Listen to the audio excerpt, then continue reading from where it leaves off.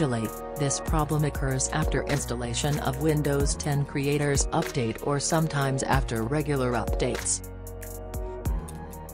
First, reset MS Edge as default PDF viewer. Click on Windows button, type in default app settings and press enter. In newly open window click on default apps by file type.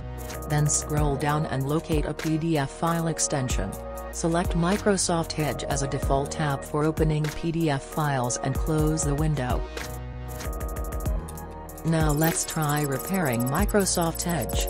Right-click on Windows button, select Apps and Features. In newly opened window scroll down, locate Microsoft Edge entry, click on it and then click on Advanced Options. Then locate and click on Repair button. After this, reboot your PC. Thank you for watching. Subscribe for more videos.